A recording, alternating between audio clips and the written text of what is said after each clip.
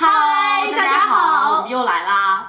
然后这次我们准备做一个三月份的爱物分享，不知道大家看了我们的二月份没有？对我们会把二月份的 link 放在下面，下面大家如果没有看，可以去看一下我们二月份的最爱小物分享。OK 那么废话不多说，你先开始吧。OK，我先开始。那我先讲一个彩妆品好了，这是香奈儿他们家出的一个唇彩笔，它的名字叫 Jumbo Longwear Lip Crayon。我用的颜色是九号，叫 Beige Rose。给大家做一个 swatch。然后是这个颜色，在这个地方是一个非常自然的一个颜色，很 natural 的，对。因为我现在不是每天的化妆，有的时候脸色就感觉比较暗沉，所以所以呢，你，又晒黑了。对，然后我又晒了，最近晒的比较黑一点，所以呢，我会擦一点这种比较 nudie 的颜色去提一下神。这个唇笔真的非常的好用。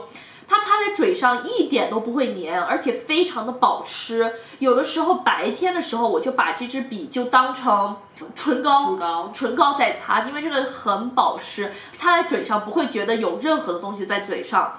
香奈儿家的化妆品就是有的时候好，有的时候不好，可是他们的包装 packaging 永远是做的非常非他们常好 all 看。same 吗？他们 package 就是做的是这个样子嘛？对，可是就比如说像倩碧的他们家的 Chubby Stay，、啊就是粗粗的、或者塑料的，会感觉比较便宜。可是他们家这个就做的非常的 sleek，而且我觉得现在大家都是用小包包，把一个这种笔放到小包包里也不会占位置，我觉得还是蛮好用的，大家可以去试一下试一下其他颜色，就是这个。这是今年新出的吗？啊，对，这是春天新出的。呃，那我第一个要分享的是一个精华液，是韩国买的，叫呃 Hydro B5 Smoother，长成这样。国内好像是叫做 B 呃 B 五玻尿酸精华液，之前其实一直是我一个干皮朋友推荐给我的，他说很适合他，因为我去年去韩国，所以我就入了一个，但因为一直觉得适合干皮，所以我也没有抱很大的希望。今天找到拿来用一下，哎，结果还蛮惊喜的。这个就是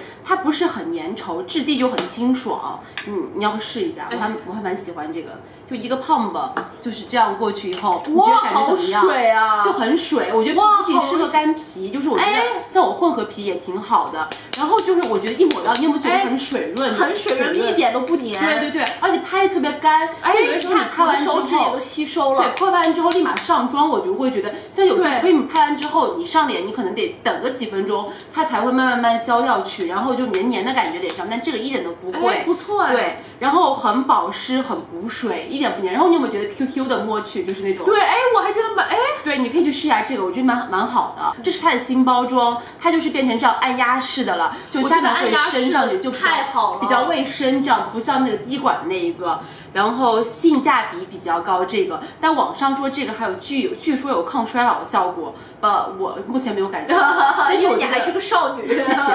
然后我就觉得够水润就已经够了，然后它每次只要一一摁一次就可以整张脸就基本上够用了，这个我觉得非常好用，就是冬天特别适合哎不错哎，你看现在试一试，就觉我觉得摸完以后主要是它就很很清爽，而且变滑了。对对，不错，我第二个呃想分享的呢是一个啊、粉底液的刷子，是长这样子的，是 Hourglass 他们家的这一款是这样子的。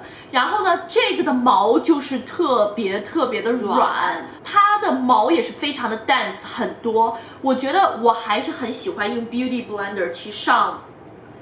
粉底液，可是有些粉底液我觉得太厚了，尤其是比较 high coverage 的，呢，就很多，比如说什么 Estee Lauder 他们家的 Double Wear、就很厚，啊对，就很厚，然后很难推开，就很难推开用 Beauty Blender。然后我最近在试用一个 CoverGirl 他们家的 Foundation，我当时用了 Beauty Blender 以后，就整个就跟一个长颈鹿一样，就根本拍不开，就是一块一块的。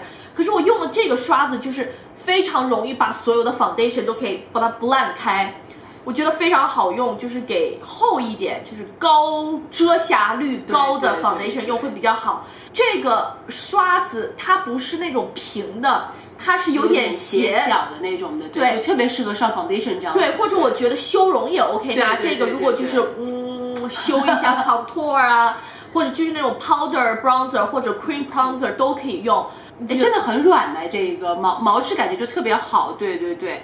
然后我觉得这个的 size 也特别好，它不是一个 travel size，可是我觉得就是握起来就很有 grip 的感觉，就是其实也没有很长，就很节省空间，就是这个 size 也是特别棒。然后质感看就特别高档的感觉，你不觉得吗？就是对所以 Hourglass 所有的包装都长这样，但就是它包装也是跟 Chanel 一样，就一直是这样一个 package 不变，但是就看着很高级对，很高级，就比如说，我现在用开架式的呃粉底液，可是用上这个刷子以后，还是觉得自己很高级。那我觉得可能是因为它这个就是你看毛没有特别长，这样短了以后就不容易变压上，可能就比较好涂对。Beauty brand 的比较软，可能对，就就要拍要拍，反正我很喜欢这个现在。那我第二样要分享的也还其实还是一个呃 skin care 就是护肤品的东西，它是的 Believe 的叫 Aqua Bomb，叫水水弹补水炸弹。长这样，哦一听就感觉好好用啊他们 package 其实很好看，就是我觉得这真的是一个一心一意在做补水的一款面霜。然后它分两种，一个像我这个是这个是适合混混合皮肤和油皮的，另外一个是适合干皮的。它们包装就是黑黑这样很简单的一个，看起也挺高档的样子。打开之后呢，它是这种蓝色的质地 texture，、然后哦，味道也好香胶啊！状的，对，闻起来有一种那种柑橘味，或者有的时候有香草味道。然后对，长这样，然后它里边是蓝色的一个胶状质地，然后你弄一点上去，就是也是水水的，你要不试一下？就是嗯，很轻薄。对，很轻薄，它是一个这种质地比较轻薄的这哎，种胶状。你在哪里买的这个？哦，在 Face Shop 有看到。Face Shop 有对对，它这个是韩国的牌子，它是哦 LG 公司旗下的，然后后来就是合作那个后那个是同一个公司的，哦然后我就觉得它特别补水，特别滋润，就就拍拍就这么就干了。但是我觉得这个哦比较、比较适合晚上用，因为它其实是有一点黏黏的，它这跟这个精华包这是面霜，它没有吸收那么快，但是拍完之后我是觉得就是水水的感觉。哦，对，我觉得这款就是比较良心，然后价钱也没有很贵，这个也就是呃，我们这边是卖呃四十七块加币，对，然后它号称是说这个补水能保持二十六个小时，然后它还是有纯植物的配方，据说孕妇也可以用，所以如果你要再生孩子下哎，次的话。别咒我了，别咒我了，别咒我了，我送你一个这个给你，别咒我了。对对，呃我三月份就一直在用这个，特别好用，对，特别补水。我觉得韩国人他们太会做护肤品了。而且我觉得像韩国人，其实他们 skin care 应该是比较适合亚洲人的做的。那我现在要给大家介绍一个开架式的腮红，是 Milani 他们家这个牌子，我从来没有用过 Milani 他们家的任何东西。然后我是那天逛街，我就把被它的这个形状、这个 design 给吸引住了。它是一个花朵的样子，很就好看。其实我觉得这个把它放在柜台上，完全会吸引到人。然后我觉得有没有像 Chanel，它每年都会出那高光，我们俩也有买，哦对对？对对对就很那种花的这一种。对对对，我觉得对对。可是 Milani 他们家性价比真是太高了。这个我记得是十块九毛九，我买的时候好像是。我也忘了，反正差不多。对，沃尔玛就有卖，我是在沃尔玛对看见的。对对对然后呢，我用的颜色是一号，叫 Romantic Rose，就是比较自然，就是没有特别粉，就比较接近肤色的颜色。对。然后我 swatch 一下，在这个地方，就是非常适合淡妆。然后它的粉质也是特别的好，它的粉质就是特别的 creamy。然后你看，好容易上吗？很容易上色，而且我觉得，可是像就这个颜色来讲，不怕擦那么多，弄多，因为就是这种淡淡的颜色会给脸上一点点的，就是颜色，会感觉到特别的自然啊、我脸上现在就擦的这个腮红，我觉得真的很好看，而且我觉得开架式有很少的东西是放在化妆台上会很好看，对对对可是这个就是这个很好看，对这个放在化妆台上就是非常的精致，非常女人的一款。虽然它的这个包装是塑料的可是我觉得这个塑料也是做的非常的有质感还挺好的，非常的有质感。不是那种比较 cheap。这个 size 也是非常好的，你拿这个刷子这么一刷，一擦就是非常好用。而且那我第三个要讲的也还是继续是护肤。哇，你三月是在干嘛？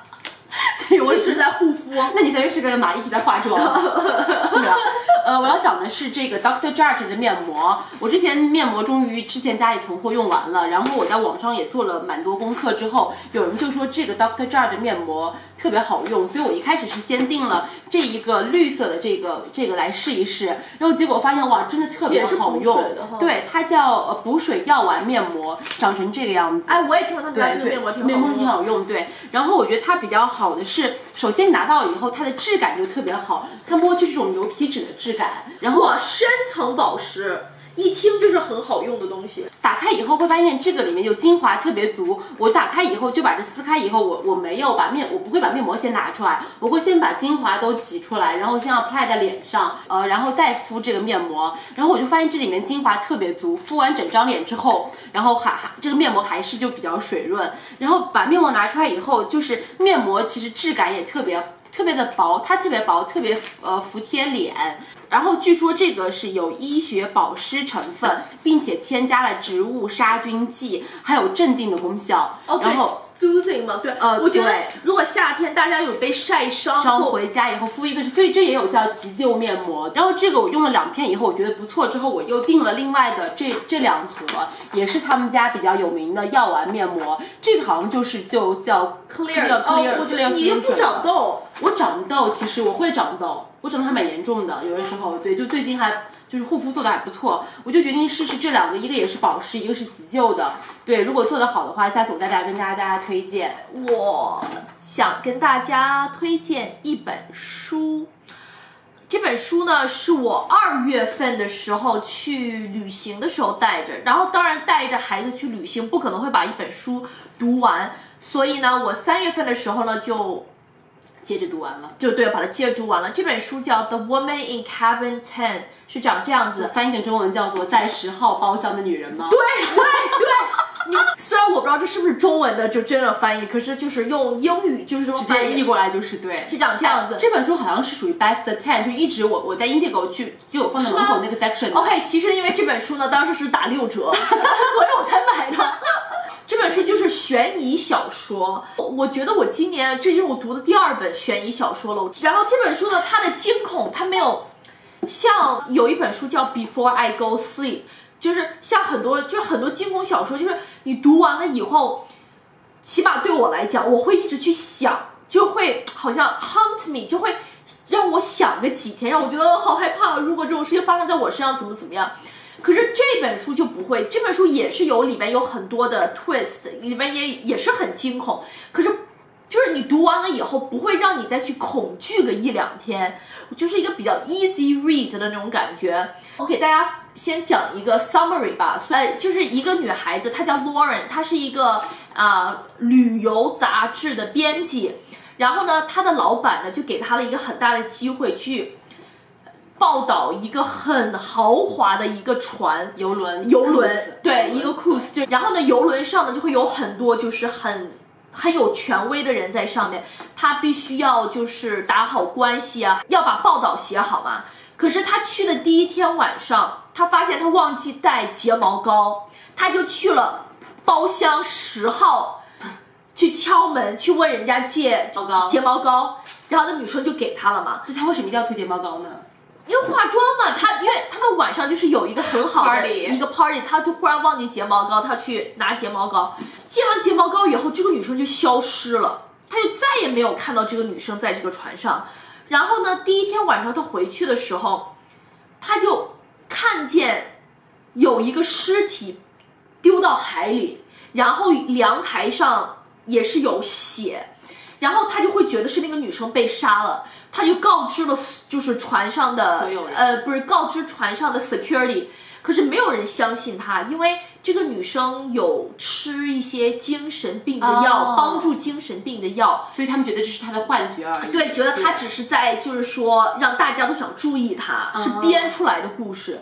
然后我我已经开始毛骨悚然了。然后你有看了？是哦真的我有开始然后呢，我给大家一点就是 spoiler，在这个船上最后死了两个人，然后呢，这个女生被就是呃关起来，还被就是饿，就是不给她饭吃，哦就是为了让她不要再跟别人讲说有人被杀这件事情，有人被杀了这件事情，所以我觉得这本书还蛮好看的。呃，可以介绍给大家，而且书店现在在打折嘛。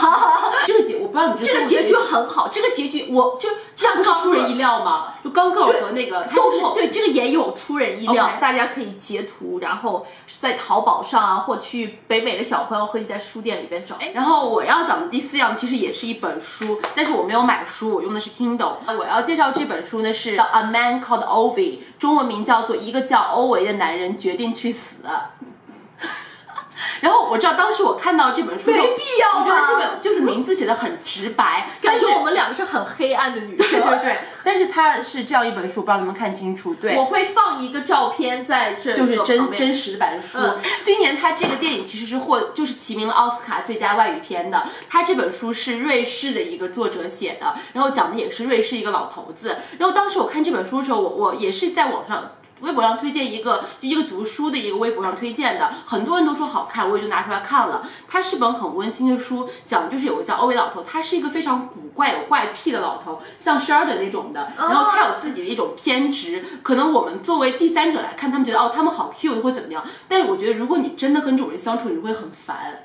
白日会，然后讲一开始他是以倒叙的手法讲这人现在他就是一个偏执人，他想去死，他尝试了很多种方法，后面慢慢就开始讲他一直就是各种因为各种邻居的一些纷争找他帮忙没有死成，然后后面慢慢讲他为什么会这样变成这样，他想去死，然后最后发现到的是因为他他很爱他的妻子，他跟他妻子怀孕之后，有一次他和他妻子出去旅游的时候，然后发生了车祸，然后他妻子下半身就瘫痪了之后，然后因为后来扩散还是什么就死了，所以他他其实很爱他的妻子，然后决定陪他去死的。对，然后还讲了一些，就是他最后没有。自杀没有死成的原因，是因为邻居有很多人都来找他，然后他就是虽然他是个有自坚持很坚持自己原则的人，但是他其实是那种内心很温暖的，他愿意去帮助邻居，他把整个 community 就是社区维护的很好，其实就是那种刀子嘴豆腐心的人。其实你身边像我一样，你你能看到很多，我觉得像我们父辈的影子在里面，他们有自己的一些，他们跟这社会完全脱节，